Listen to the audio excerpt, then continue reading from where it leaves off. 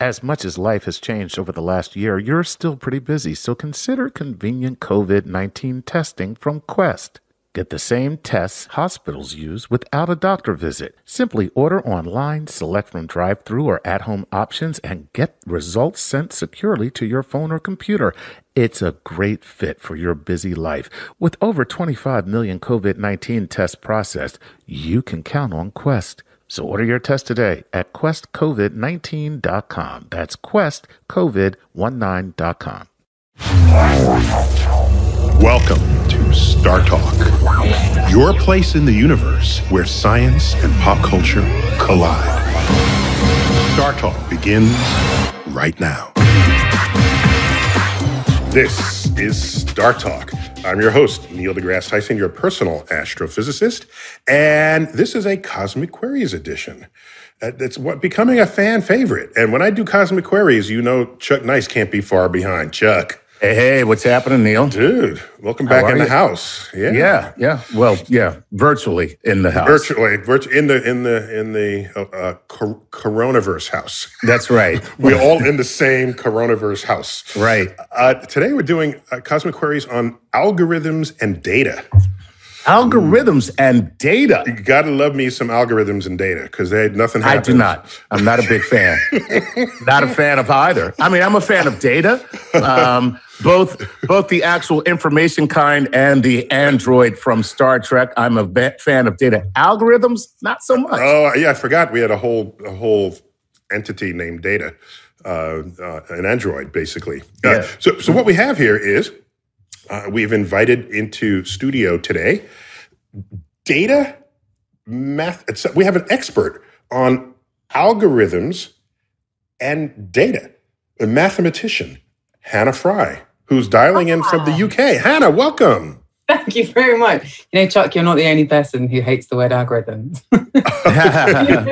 I was Yeah, once for- at a tech conference and I was just chatting to this guy, being like, I think it's a word that makes about 85% of people want to gouge out their own eyes. Oh, He uh, agreed with me. He said, Yeah, but it does make the remaining 15% of people mildly aroused. So Yeah, uh, I yeah. know what I'm in. well, you know, yeah, mildly aroused. That's because Al is only mildly sexy, Mister Mister Go Rhythm. Oh, algorithm. Yeah, there yeah, you go. Exactly. Uh, so let me get your full uh, bio here. We, you're associate professor of mathematics, University College London, and you co-host a BBC radio show, uh, Radio Four, because Radio BBC has very um, uh, stovepiped channels, and it's the Curious Cases of Rutherford and Fry. Yeah. Now you have to do some splaining on that one. Author of the book recently released uh, last, just last year, Hello World Being Human in the Age of Algorithms. So you're the person for this for this cosmic queries. Just I mean, I know a thing or two. I'm not Okay. going I'm not going to big myself up too much, but I've dabbled. Uh, Hannah, if I may, can I just make you feel uh, a little more at home uh, digitally as we cross the Great Pond? Uh, here we go. Um, here we go. Um, Oh, BBC News Time, five o'clock GMT. Okay, there you go. that was actually quite good. Did you like that? Did you like yeah, that? that was very good. Very good. he- He's good, and You and could the get a Brits- job, I'm sure. And the Brits show off that they have the prime meridian. So Uh, yes, exactly. the universal time, Greenwich mean. Greenwich time. You know, in fact, I live in Greenwich. The prime meridian is about 100 meters from my house. Oh, do you feel it though? Do you? Feel- to do? What's quite nice, you go for like, the, you go for a little, uh, you know, little walk around, there's like a peninsula. And um, along the prime meridian, as it goes across the water, there's just an arrow that says here. Oh no, I've forgotten the circumference of the Earth now. 16,000 kilometers, something like that. No, no, way bigger than that. Yeah, people once thought it was sixteen thousand in ancient Greece. So we're gonna update you on. I made a guess, and I made a guess with the wrong person. Hannah's a fan arrow. of history. She's a fan of history. That's all. There's an arrow, and it just says back to here, which I quite like. we're about fifty thousand kilometers, forty 50, to fifty thousand kilometers. Right. Yeah. Well, I was within a factor of 10. So I know it to miles, and you, the guys who gave us miles, so it's twenty-five thousand miles, uh, is what that is.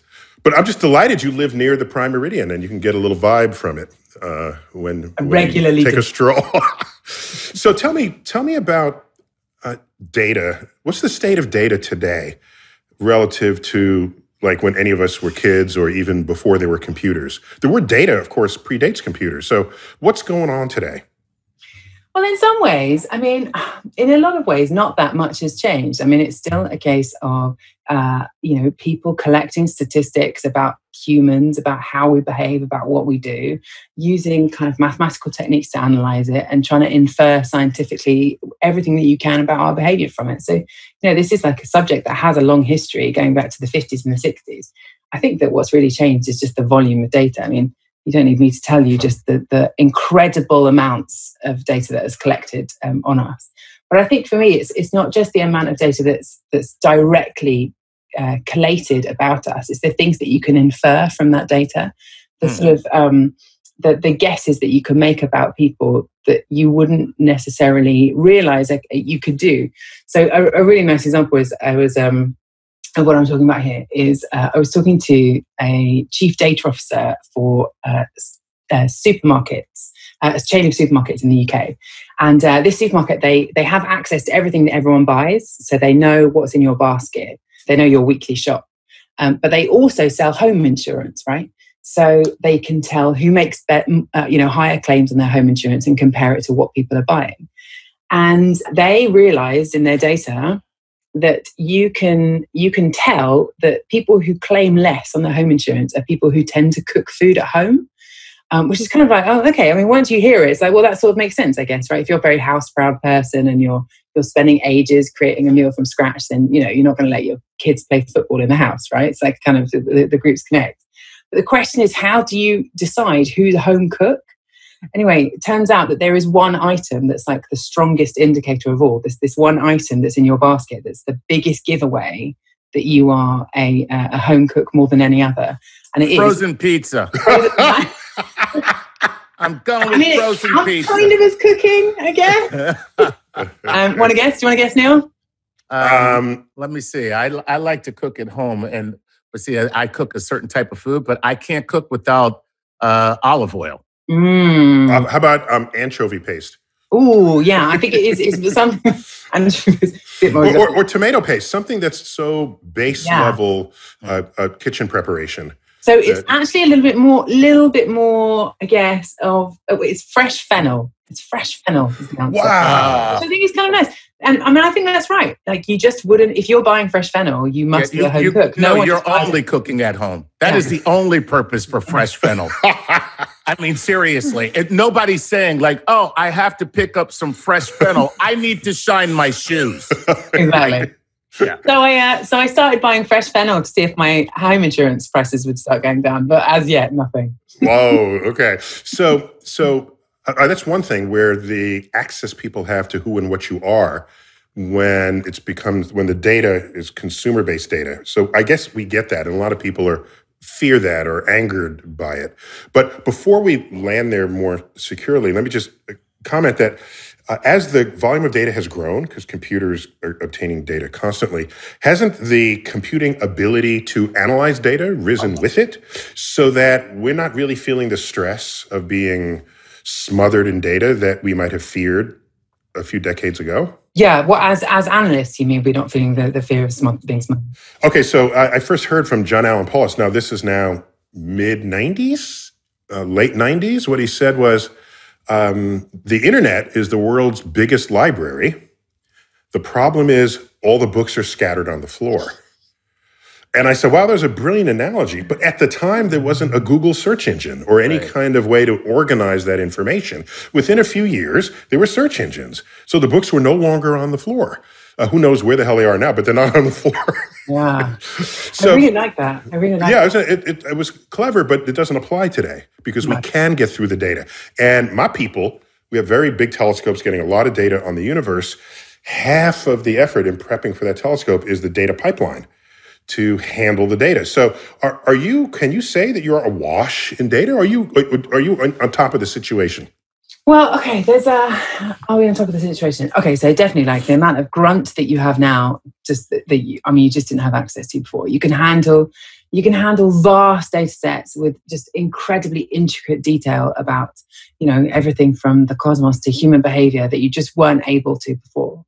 But the thing is, is that I think the biggest challenge when it comes to data isn't so much about volume, but more about quality. And the thing is, is that anyone who has worked with data knows that uh, cleaning data is like so much the battle. You get like this this massive, great big wallop of data. You're like, brilliant! It's going to be so good. Can't wait to like dive in. And then you realize just how long it takes to make it uh, to get it into a shape where it where it where it does anything that you want it to do. Let me think of an example of something that I can give you that will be. Um, I, I can tell you in my field, we just call it reducing the data. If I showed you raw data from the universe, you say, What the hell is that? Where's my pretty Hubble picture? Well, if you knew what the hell happened between the photon hitting the telescope and the photo that ended up in the press, um, you'd be. Um, you might be shocked, mm. but uh, no, you wouldn't be, Hannah, but others might. so you have an example. I'm trying to think. Sorry, forgive me. There must be one that's really funny and quite stupid. well, well, they might come out in in the Q and A part, so we can. Yeah, okay. That's, that's, the one we want, definitely. Yeah, I know you definitely want one where where something's just really stupid. There's definitely got to be one. Uh, um, someone's just done something so, stupid. Uh, another quick thing about your bio. Tell me about your BBC Four radio show. Oh, okay. So uh, this is a show that I host with the geneticist Adam Rutherford, and we've been going for about I think we're in our we're recording our 16th series now. Whoa. So the idea is that uh, people send us in questions and we go out and investigate them. And initially we because Radio 4 is like it's kind of the posh channel. okay. so it's very highbrow. Uh-huh. Um, it's very there's no music it's all it's where the politicians go and it's where they have like these deep intellectual debates i mean they have like you know programs on philosophy on it right? It's like it's like the very kind of like the very highbrow stuff. So initially we wanted our program to be very highbrow too and to be very serious and like we're very serious scientists. But we discovered quite quickly that actually what works better is if you just basically muck around. Um, and uh, as a result of that, the questions that have been coming in have been from families with younger kids, and they end up being like the best questions. So we had a question that I really liked, which was, uh, "What's the tiniest dinosaur?" Right, which is a question that was asked to, uh, of us by like an eight-year-old. Seems like a really, you know, trivial, silly question that you can just dismiss with a with a quick Google search but actually unfolds this whole thing of like how do you define size how do you define dinosaur you know this whole kind of world underneath it so yeah that's really what it's morphed into is just this um, yeah like wonderful playground where all the annoying questions that kids want to ask their parents they send them into us instead. So to the benefit i think of the listeners so it, it kind of um, um, undoes some of their poshitude it does it does. It's definitely not posh. Uh, let's see if we can lead off with a question here. Chuck, we, we got a first question on algorithms and data for one of the yeah, world's experts yeah. on that subject. Sure thing. Let's go. Let's start off. We always start off with a Patreon patron because they give us money. So let's go to TJ Monroe uh, from Patreon says, um, Dr. Tyson and Dr. Fry, the two best radio voices in science. Oh, wow! wait, wait. So, how is Rutherford's voice in your show? Is it's it... rubbish. Yours is much better. Oh, oh, okay. So we got to do we got to do our own show then. All right, we'll work that out. Uh-huh, uh-huh. He says, um, "Can you walk through the process of creating a predictive algorithm for something like the path of a lightning bolt, Ooh. or ocean currents. Now, one is a lot easier than the other. Yeah, sure. One one, repeat, wait, wait, one Chuck, repeats Chuck, itself. I'm sorry. Go ahead. That you say that Chuck is you're an expert on this. Well, yes, you know. so Neil, in my in my spare time. but but I, what I'd like that's a great question. What I like about it is it, there, there are two things that are highly sort of uh, you know, oceans can be turbulent. You have mm. storms and things, but there's is a prevailing thing. Right. You don't know where lightning's going to strike, but you know it's going to strike somewhere over there. Yeah. So I, I love that question. So um, Hannah, has that reduced itself to algorithms at this point or not? So I haven't seen an algorithm for predicting lightning strikes, but I, am just thinking through how you could do it. So certainly there are going to be certain things that um, that go into it, as you say, right? Like there are certain days when you can look out in the sky and be pretty confident that, that no lightning strikes are going to happen, and other days where you can be fairly confident that they will. So there's certain things that you can measure in the atmosphere, the atmospheric pressure, the humidity, all of those kind of things that you could plug into a system that could help you predict the likelihood of a lightning strike. But the exact path of it, I mean, Neil, you probably know more about this than me, but I would say that the exact path of it is going to be very difficult to deduce precisely where But, it uh, uh, will. uh, I mean, where it will call that? Uh, end up is that- is easy. Yeah. Would you call it an algorithm if you are checking the, the atmospheric pressure and the humidity and the size of the clouds and the moisture? If, if those are just inputs to something that calculates, does that come under your category of algorithm as well? Yeah, I think so. I think so. I mean, obviously there are different kinds of algorithm, and you know, the artificial intelligence is one that gets a lot of attention, and the algorithms that deal with sort of data on the internet is another. But I think that Mhm. anything that is taking taking something from the real world. Uh, like a recipe, right? Like taking ingredients from the real world, doing something with it, and then spitting out some kind of answer. I think for me that counts as an algorithm. I mean, you know, when you technically, if you stop and ask someone for directions, if you're in your car and you stop and ask someone for directions and they say, go down there, go that way, that way, that way, I mean, technically, they're, they're giving you an algorithm. Right, right. So, okay, so uh, so algorithm is a very wide catch basin then Yeah. for accounting for things that you want to predict or understand. So, with with lightning, uh, you'll only discharge a cloud if there's a if the buildup in charge is very different, either from one cloud to another cloud or between the cloud and the ground. And so, like you said, uh, Hannah, if you measure the humidity, you can check to see what is the propensity of electricity to cross humid air versus dry air and look at a threshold for that. And you say, when it hits this threshold, it's going. And uh, how much of algorithms is also thresholding phenomenon? Oh, lots and lots. So I think, yeah, it, um, I think that. Uh, so that's the difference between. Um, sometimes you are trying to predict exactly what's going to happen. You know, you're going to you're trying to predict, let's say, uh, you know, if a ball is rolling down a hill or whatever, like exactly where it's going to end up, that kind of thing. And sometimes you're just saying, as you said, like, what is the probability that this might happen? And, and at what point do you set this threshold to say, okay, like for instance, you know, this the example that I gave you earlier about the fennel thing, right? It's like it's not definitely, you know, it's it's not like you buy fennel, therefore you're not going to claim on your home insurance. It's like you buy you buy fennel, therefore you're likely to be a home cook, therefore you're likely to do this. And then you sort of all the way through those, you're going to be setting thresholds where you say, if it tips over this, then you know we assume you're a home cook. If it tips over this, we assume you're, you know, whatever. Uh, interesting. Okay, so that's an important fact here because it's not the one piece of data that gives you the Hmm. un. It's not the one piece of data that tells you what everything is. It's the one piece of data that might put you over the over the the edge of that conclusion. Is that yeah a i way think that's think right about i think that's right i think when you're when you're dealing with uncertainty i mean very eh, there are very few things especially when you're when you're you know handling data to do with human behavior very few things are cold hard facts right very few things are you, you're rarely dealing in absolutes so when you're handling uncertainty the only way that you can possibly convert uncertainty into a yes no answer is by saying here's the line if we cross it we'll assume it's a yes Got it. And and the ocean currents, those like you said, Chuck, those have prevailing. Uh, they're they're not catastrophic the way a lightning bolt is. So Right. presumably, um, that doesn't have this kind of thresholding. No, true. In the but prediction. I mean, ocean Right. currents. There are there are uh, you know much. They're, they're sort of very sophisticated uh, equations that can describe fluid flow, right? So Mhm. um, they're still not absolute. You know, especially when you're dealing with turbulence, there's still a lot of probability and randomness and and, and chaos, right? That's involved in all of that. But you can say with more, it's it's it's not a thresholding problem. You're as you say, right? You're like you can say with more certainty where things are going to be and how they're going to Mhm. moving. I was going to say there's also connection when you're dealing with uh, ocean currents as opposed to lightning bolts. Ocean currents are all connected because it's not one ocean, it's an entire oceanic system that happens on the globe, whereas lightning Mhm. bolts are isolated incidents. So there, that's that. There's that too. That's very But, true. uh, Although, if you ask a mathematician, the mathematicians who study the ocean, I mean, they assume it's two dimensional. So I think it's a bit lost on them.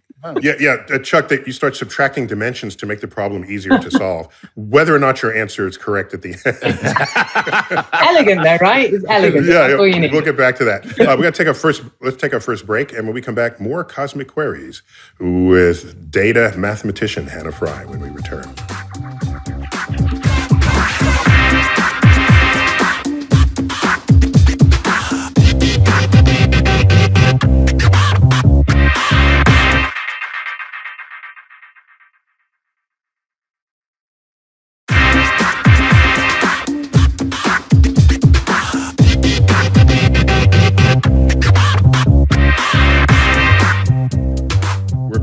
Back Star Talk, Cosmic Queries, Algorithms and Data. Yeah, I said it. Algorithms and Data. I got I'm so good when you say it. Chuck Nice, hey. co-host, tweeting at Chuck Nice Comic. Thank you, sir. And we have as our special guest, Professor of Mathematics at University College London, Hannah Fry. Hannah. I'm an associate professor. You just gave me a promotion there. Thank you. I, I you, I, I, will do that. And you, you take yeah. you take that to, to the bank and to your will. to your department chair. Hannah, Hannah, how would you like to be a chancellor? we can do that. I, I, I, want to be sir. That's what I want. Uh, oh, there you go. Wait, so Chuck, you got another question about sure, data? Sure, sure, sure, Let's um, let's go back to Patreon and let's go to Shawshank Submarinian, who says, uh, Neil, hello, and Hannah, hello.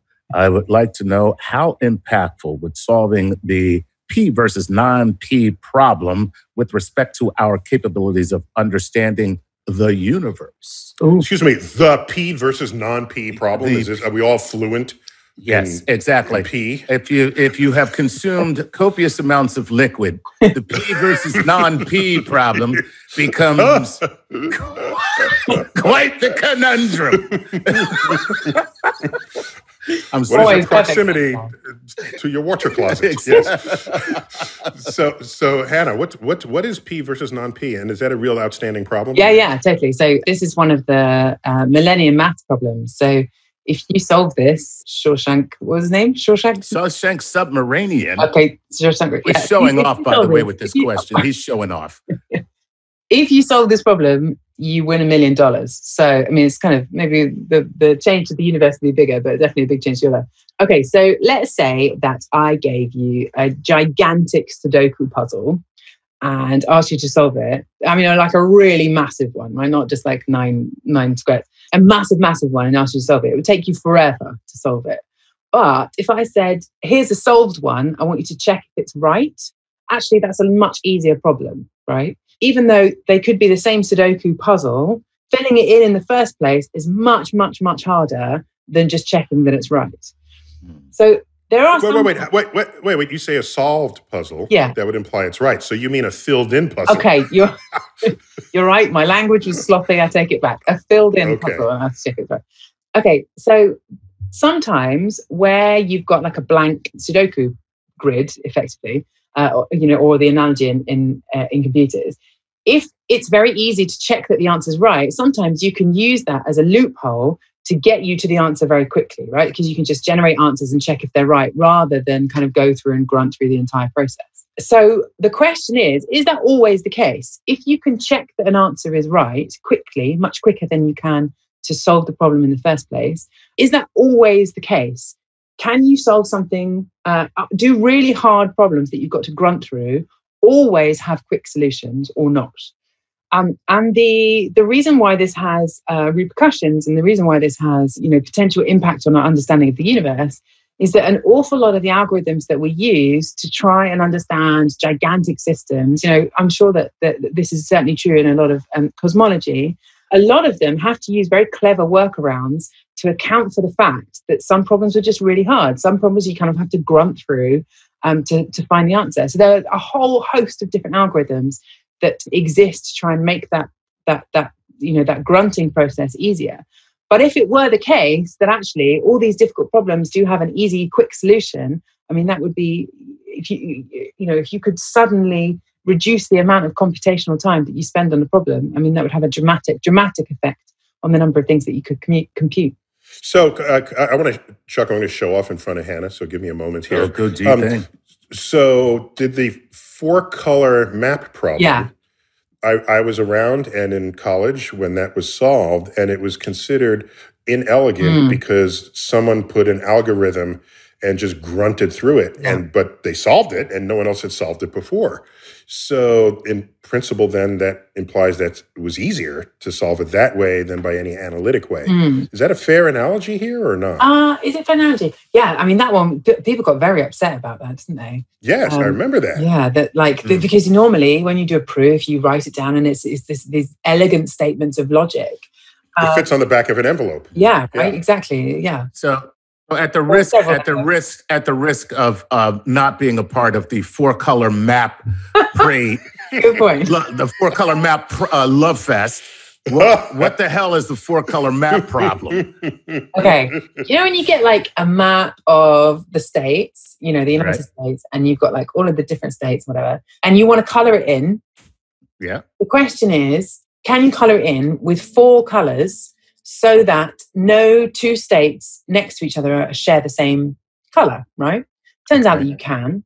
The question is, is there, so the, the, the four color problem is, uh, let me get this right actually. No, you might remember more than me, but does any map exist for which you cannot color it in in four colors? Or Yeah, that's that's the what way. is the minimum number of colors that you need to color any map? I think we knew that the four colors was the right answer. We just didn't have a proof of it. Mm. And so it was it was intractable until somebody uh, again I, I went to college so long ago computers were new to the world of math. Punch cards. And Almost certainly. I mean, it was the 70s, right? Uh, it was the 70s. Yeah. Yes, it was. Uh, back when I was in And like a steam powered handle.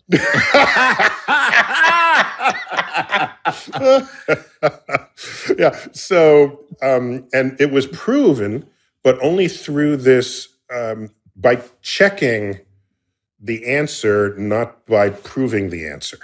That feels like what you just described. right. And, and so I'll give you an example from my field. I think, Hannah, I think this is an example. We have people looking for galaxies that are very, very low in their surface brightness. Hmm. Like you, you, you, you would, you would scan by it and you wouldn't even know it was there. Well, how do, how, how do you look for them if they don't reveal themselves? Well, we, the ones we have found, we know what their light profile looks like. And so what we can do is set up a filter that goes out and tries to match hmm. the light in the sky to that filter. And when you get a slight increase in a match, there's a galaxy. Now you can put all your resources there and say, yep, there's a galaxy there. So, So we're you, actually- you're looking for the answer to ask Yes. the question. yes, yes, yes, Yeah. yes. Gotcha. So, so Hannah, is this legit? I mean, are we? Yeah, allowed I to mean do that's this? that's I mean these are great examples of like grunting through the solution. And uh, Mhm. the question is, is that always the easiest way, or is I, I, is there actually a trick? Is there some clever trick that you could have used? You know, I don't know, like folding your data in half and looking for like this superimposed like lights. Or, you know, maybe there's some clever trick somewhere that just just Mhm. no one spotted yet. You know, there's so often cases where people come up with these clever tricks, and maybe there was a clever trick that the whole thing could have been solved much quicker without having to grunt it through. Okay, so if this problem gets solved, then it'll give us confidence for all future pro- problems to say, don't even worry about figuring out the answer uh, analytically. Let's just compute the answer and then check it. Yeah. I mean, if that's easier, then that for me that's less romantic. That's less elegant. It is, it it works, is. it But, works. but then at the same time, you have to think of the potential uh, repercussions of this. Like, you know, there are some problems. Like if you take protein folding as an example, right? So um, proteins are just the source of uh, of so much, uh, uh, you know, of life. I mean, essentially, they're like the fundamental building blocks of life. Building blocks. But everything that could happen to the human body, from you know Alzheimer's to uh, the drugs that you, like the effect of drugs that you take. I mean, everything. It all comes down to proteins. And proteins, they're like these long ribbons of amino acids, and the way that they fold up determines their function. These things are incredibly, incredibly, incredibly complicated.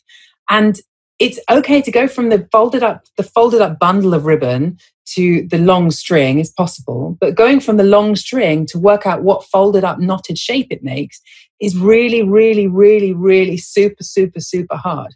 We understand all of the physics of it. We have, you know, equations that could work it out, but you just cannot grunt through it all.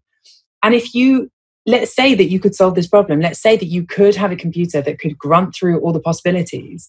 What that would mean is you could say, I want a protein that serves this function. I want a protein that can combat this disease. I want a protein that acts on the body in this way. What shape is it?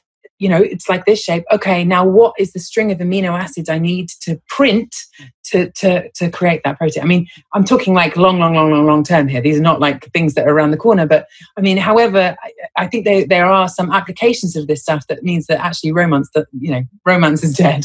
Like, who cares Okay, about so- romance when you've got protein folding? So Chuck is listening attentively here because he wants to know the formula for a funny joke. I think it's gonna be don't. hard. I, re- I really don't. Why would I change anything now? How do you fold your words together to guarantee there's a funny joke well, at the other side? That, that I'm sure there's an algorithm for that, you know. But I, I, and believe me, I would love that.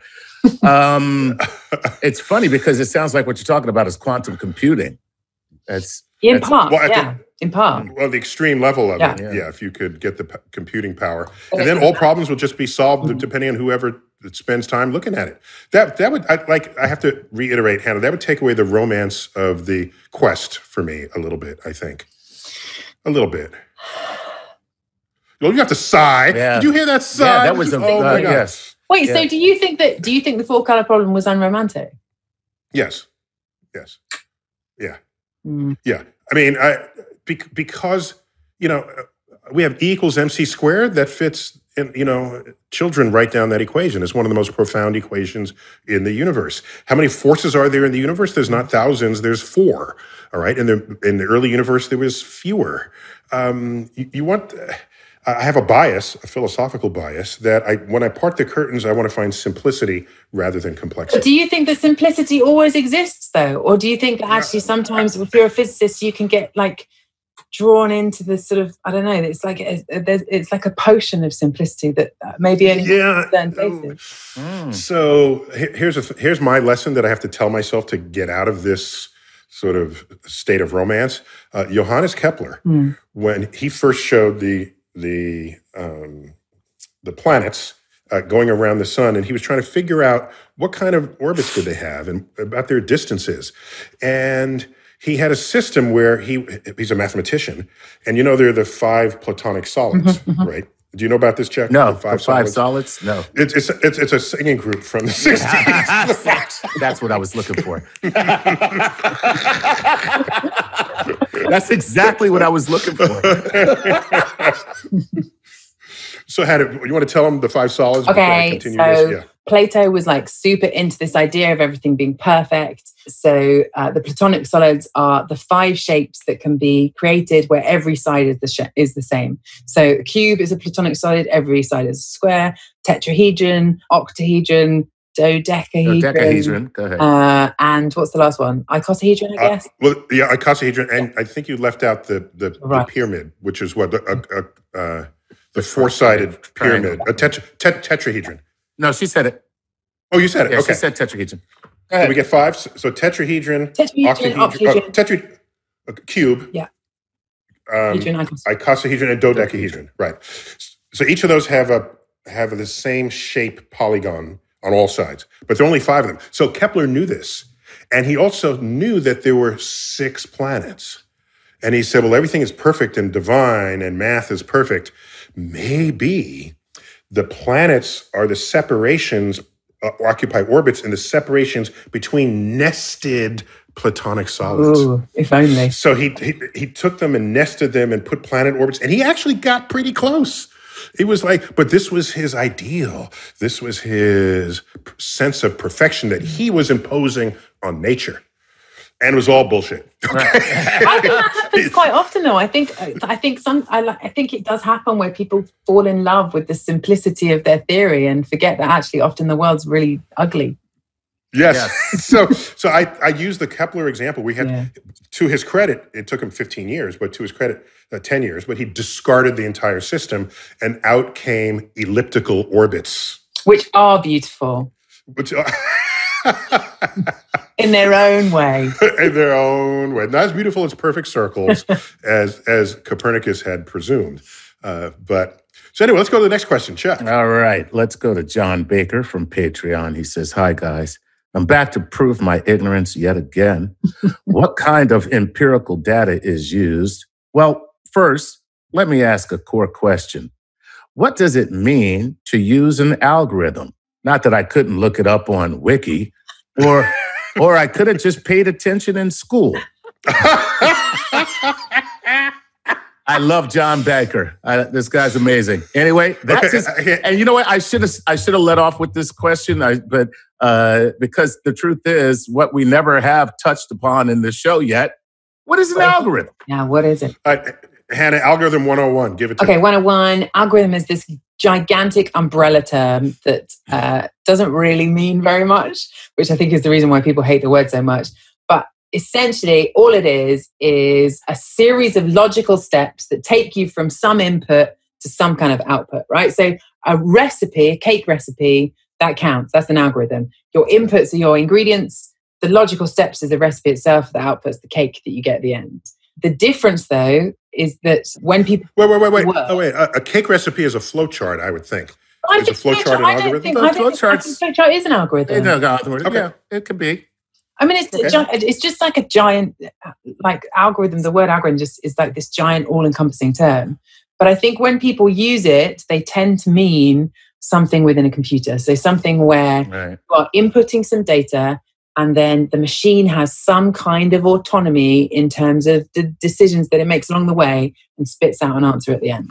But, uh, of course, so computer programs, Yeah. then everything you do in a computer program is an algorithm. Is that fair to, fair I think to that's think of it that way? I think Yeah. that's fair. Yeah. Yeah. Yeah. Although, I mean, I think that when you people use the word, you know, if you go like, did you like, um, did you, uh, so I had a ZX Spectrum, which I think is quite a British thing. Like, it's like a Commodore 64. That was the thing that I learned to code on. Is it Wow. Commodore- well, that's the American one, right? Yes, we did. The Commodore 64 was the American version. Yeah. and what, And, that, and that's because Hannah is 80 years old. That's right. I was going to say, I want to unpin my video now so I can get a closer look at Hannah because she's just right because right now she's in a little window on my screen and she looks to be in her like in her like early 30s, late 20s, and then she's talking about Commodore 64, and I'm like, is it her or is it my eyes? okay, Grandma. This, Uh, talk to his grandma I learned coding when I was two. um, She's just a child genius. Exactly. There you go. Okay. No, but on my so on my ZX Spectrum was kind of the British equivalent. You would do like print hello, uh, go to line ten, and then it would just go ba- round and round and round and just be like the whole fill the whole screen with hello, right? Like that was the kind of programming that everyone did when they were like kids. And technically, that's an algorithm. It's just a really rubbish one. it's like you know not particularly not really doing anything. So I think when people use the word, they tend to mean that it's like some kind of automated decision making. That's sort of really what they mean. But I but I think you know if we're being absolutely fair, the word algorithm encompasses all of this. Now, Chuck, the person had more to that question, but we just ran out of time in this segment. So when we come back, we'll pick up more on the angst shared by this questioner who wondered whether he should have learned all this in school in the first place. this is Star Talk Cosmic Queries. We'll be right back.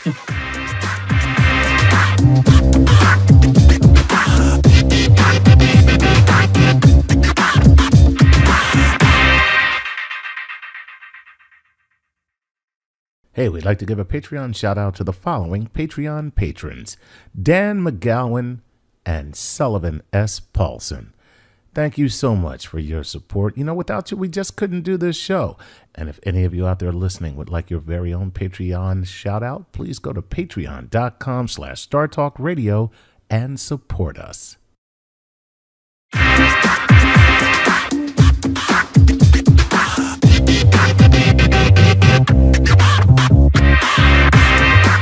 Star Talk, we're back. Cosmic Queries, Algorithms and Data Edition. You never thought we'd go there, but we did. So there. Okay. I got Chuck, of course, and uh, Professor Hannah Fry, Associate Professor uh, of Mathematics at University College London. Uh, you shared with us earlier in the session that you live in Greenwich. And we've all heard of Greenwich, even if you've never been there. Greenwich time. That's like the time, uh, the the base time of the world, right? You get kind of cocky about that. You say, You know, we swagger around here. We swagger around. It actually took me to move to Greenwich. I've only lived here for uh, three years or so, but it took me to move to Greenwich to realise that Greenwich Mean Time is the word "mean" in it actually means average mean across an entire year. I didn't know that. I, oh yeah, Yeah, of course. entirely. Of course, 24 hours a day is 24 hours. No, it's not. It's 24 hours on average. Yeah, uh, it's yes, exactly right. Yeah, the, the time it takes this, the time it takes the sun to return to its spot on the sky, on average, is twenty four hours.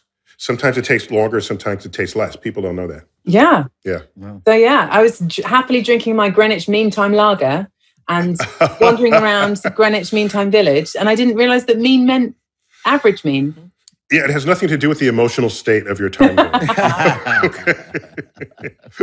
so, Chuck, we left off someone uh, upset that um, he didn't learn the meaning of algorithm in school, but I think there was a question based. Well, there, down no, in there, they, he there? said, "What does it mean to use an algorithm?" So, Okay. and then Hannah said, "Like, uh, well, a recipe is an algorithm, like in a." But I like what Hannah. I, I like the distinction Hannah is making as we go forward in the 21st century that we think of algorithms as an automated procedure rather go. than something that. Right. Yeah, you do something that makes a decision. Yeah. And then I think that there's a further distinction there as well between an algorithm and artificial intelligence.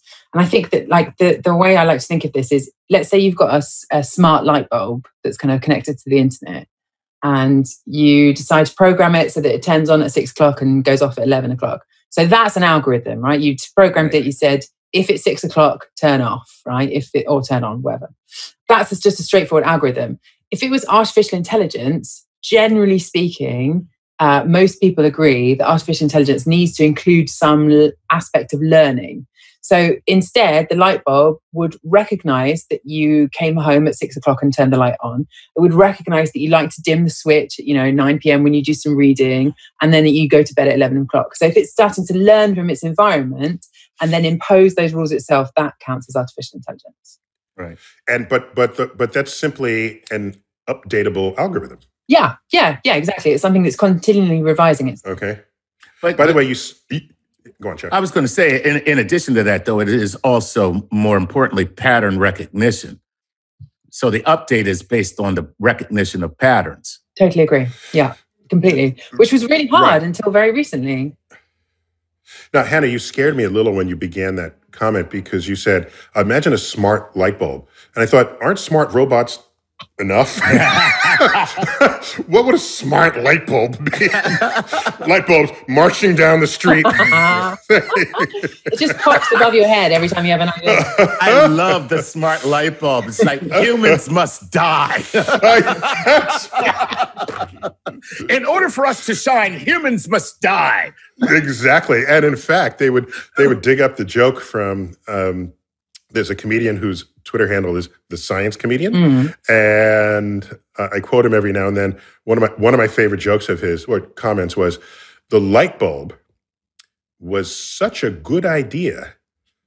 It became a symbol for a good idea. That's funny. That's true. so, if light bulbs uh, become our overlords, they will remind us that anytime we think something brilliant, it's one of them Right. that Yeah. gets popped up. Exactly. In the, Right. Uh-huh. Don't think we don't know what you're thinking. Well, we only know what you're thinking if it's a good thinking. That's a good thing. If it's a good thought, we know it. Okay. All right. That's funny. So the science comedian is, is Brian Malow, if anyone want to dig him up. Nice. Okay, so you got another question there, Chuck. Sure thing. Um, this is Ben Sellers, and Ben wants to know this. Um, uh, from an evolution standpoint, our relationships and mating behaviors probably follow patterns useful for hunter gatherers. Mhm. How do our behaviors on social media and dating websites resemble patterns from more primitive days? What would make interacting online more connected to our primitive programming? Now, I don't know if this is your purview, Hannah, Wow. but he's he's making a really you know, pretty pretty poignant association, Yeah. which Yeah. is we now find people online. That's how we find love now. I mean, and and the number is only going up every year.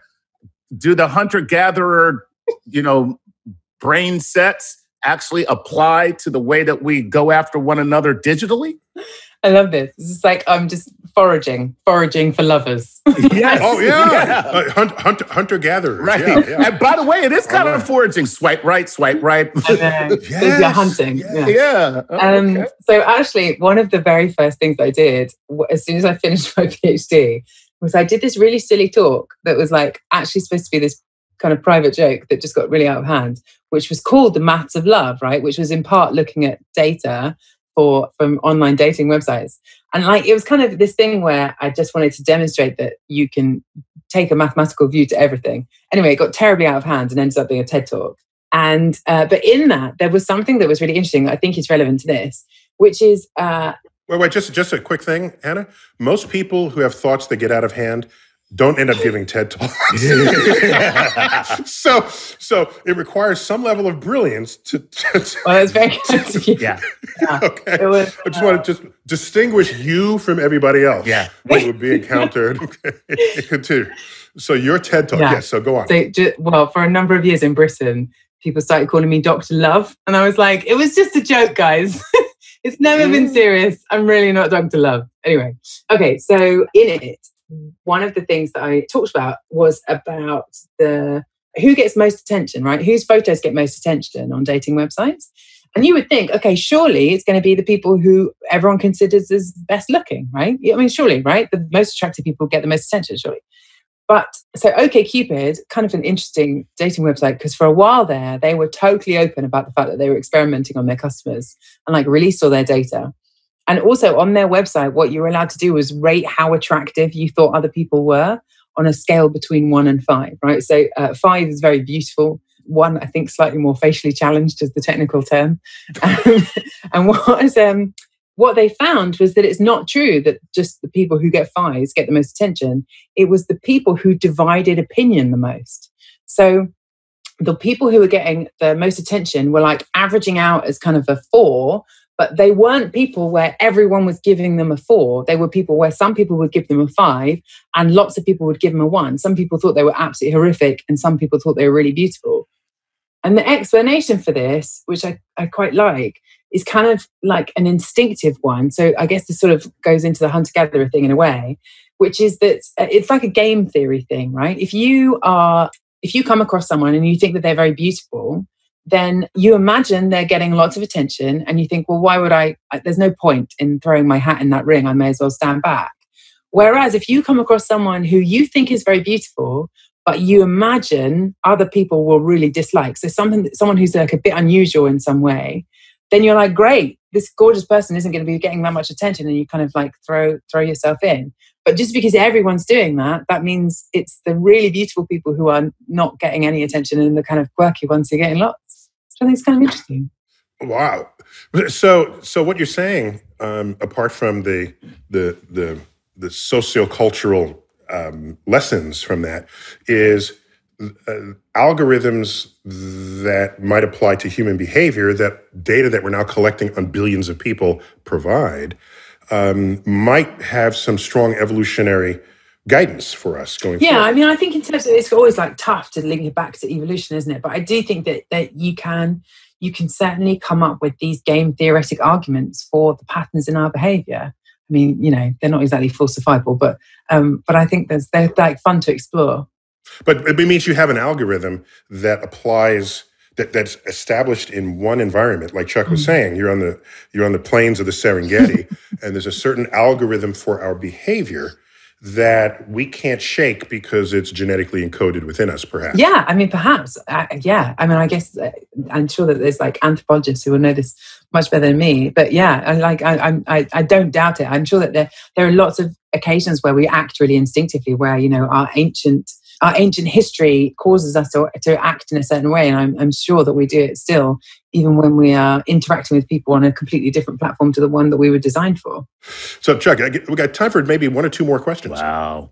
All right, God, we're, we're gonna have to do another show, man. I Yeah, I have yeah. eleven pages of questions. Oh, Ooh, okay, That's- Hannah, you got to I'll come do it back. really You gotta fast. get Hannah. that is how many people are really like interested in this subject. It's unbelievable. Okay. I have We eleven. gotta Who'd have thought? Data and algorithms, sir. Yeah. So I know we're wrapping it up. So I'm trying to find one. Okay, here's one. Okay. Um, this is Dean from Twitter. And Dean says, Wait, Chuck, you're just choosing people whose names you can pronounce. This whole episode have been pronounceable names. All right, let me go with then instead, I'll go with Tielo Jangmanas. That ain't it. Okay, that's That ain't- that's better. that ain't his name. I'm sure. Tielo Oh, poor Jangmanas. Dean now. Dean thought he had his moment and robbed from him at the last Yeah, minute. well, sorry, Dean. We'll get we're, we're going to do this show again, so we'll get back to you, buddy. All right. All So this is Tielo Jungman, Jungmans, Jungmans. Okay, from Twitter. Okay. He says, "I'm sorry. I just." He says, "Assume that the game on behavioral data is already over. The next level is biological data. And the one after that is thought police. Okay. Um, what are your expectations expectations and what do you think the outcomes will be so what he's really talking about there is predictive analytics will we ever get predictive analytics to a point where you have pre-crime mm. it's like you didn't oh. you didn't commit a crime but you know what we know you're going to commit this crime because these algorithms have actually profiled you in such a hmm. way that tells us that you are a criminal Hannah, you said that about about fennel. Okay. Oh my you, God, you, you, did. If, if, you know that much about who a person is, if they buy fennel, mm. I, I, love what Chuck, Chuck said there. Can can you get are the algorithms so good that they know your thoughts and then they know your next behavior and then you pre-arrest someone? Okay, so this is such a t- this is such a tough topic, right? Like I spent a huge chunk of my book talking about this. You know, predictive policing and predictive algorithms in the. tell us the name of your book again, just so we get that. It's called Hello World. Hello World. Hello World. Uh, um, Life in the Age of. I can't remember what they gave us. The, I, I, can't remember what they did as the subtitle in America. I think it's How to Be Human in the Age of the Algorithm, maybe. Yeah, that's right. That's what. I, mm-hmm. um, I thought you were going to say I can't remember what the name of my book is. but, you, the, subtitle. the subtitle is different subtitle. in America. Okay. Yeah, they do that sometimes. Yeah, okay. They have to translate between t- two English-speaking countries. They have to translate. I know. Okay. I know. Okay, so right, this is like a really tough topic because the thing is is that some people have definitely tried to do this. There have definitely been some situations in which people have tried to predict. So there was one particular example uh, in chicago i think it was where they the idea was quite straightforward right? Which was like okay well when it comes to gun crime often today's victims are tomorrow's perpetrators so if you analyze the network of, of people who you know who who people are friends with you know who people hang out with that kind of stuff if you analyze that network and see and feed in where events are happening can you come up with like a risk score if you like? This is kind of like your the threshold thing that you were talking about earlier with with uh, with lightning. Can you come up with a, a risk score that says uh, we think that this group of people or this group of people are likely to be involved in something in the near future and when this whole system was set up, it was set up in kind of a nice way, or, or, like I think it was set up with good intentions, because the idea was that if your name appeared on this list, then police and uh, social workers um, would come around to your house, and they would. So it would be like it would be intervention. like an intervention, right? But it's yeah. like, you know, here are these programs that you can join. Here are these alternatives that you can, you know, we can want to help you out of this, the, the life that you're in, right? That was kind of like the intention. But of course, of course, it didn't work out that way because if you give that list to people who've got a completely different set of priorities, as soon as there was, you know, a, a, gun homicide, it turned out that people took this list and started at the top of the list and then just started arresting all the way down. So by the end, you, um, Rand Corporation did this analysis of the, the whole project. And by the end, the people who were on the list were I can't remember the numbers, but basically way more times, uh, way more likely to have been arrested by the police, uh, regardless of whether they were involved in the original crime. So essentially, it turned into a list, a harassment list, right?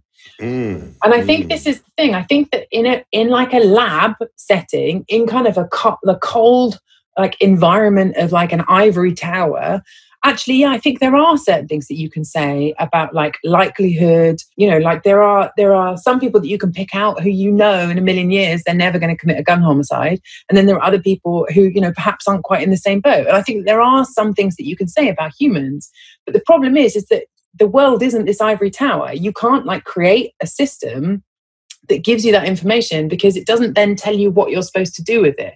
It doesn't tell you how you're supposed to interact with people. It doesn't tell you what you're supposed to do with it. And I think that I haven't yet heard of a really positive story where people have tried to do something like that and it's gone really well because I just think it's just I just think like interact that that kind of yeah, the real world is messy. The real world is messy. Right. So, so Hannah, I think just AI will figure out what to do with the data. it definitely won't.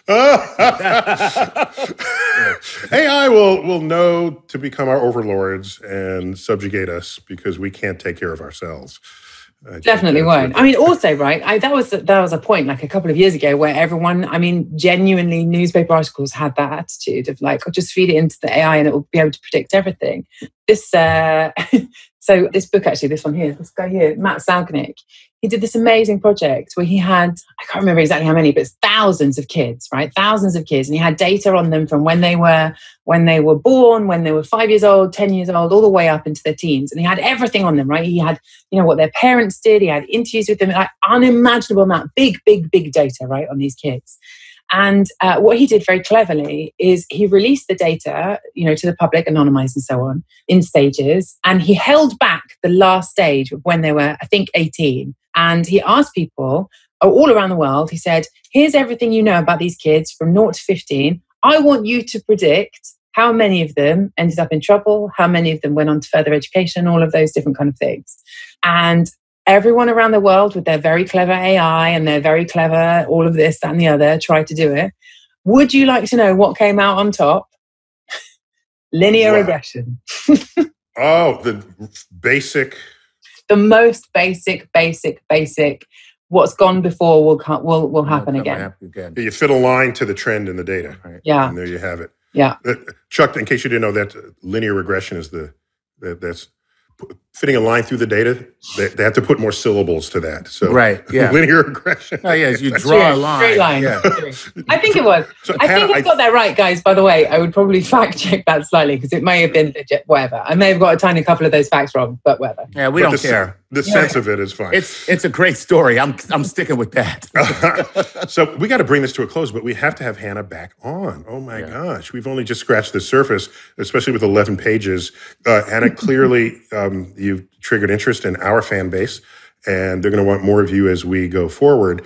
Um, but I think, uh, correct me if I'm wrong, Hannah, that one of the great lessons of this is really maybe everyone should have paid attention in their math class because math will be math will be the foundational forces that uh, define our social cultural existence in this world. Did, did I overstate that, Hannah, or not? Yeah, no, I, t- I think that's definitely true. I always think like if um, I think that it's really hard to realize how important this stuff is because it's invisible. And I kind of think, you know, with drones, like drones came along and then all of a sudden there were loads of drones everywhere and everyone got really upset. And now you've got to have every license possible to, to fly a drone. I, I always think that like if you could see algorithms in the same way that you could see drones, I think people would be a lot more, uh, you know, willing to, well, on it really. I think that they'd, they'd want to educate themselves a lot more about it.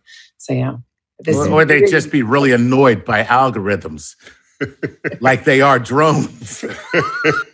Um, so, okay, guys, we gotta we gotta wrap this up. Uh, Hannah, thank you very much for sharing your wisdom, your insights, and some of it uh, pleasing, some of it scary. Uh, mm-hmm. Part of what we need going forward. Chuck, always good to have you. Always a pleasure. All right. Uh, this has been a Cosmic Queries edition on data and algorithms. We got to call it quits there. I'm Neil deGrasse Tyson, your personal astrophysicist, bidding you, as always, to keep looking up.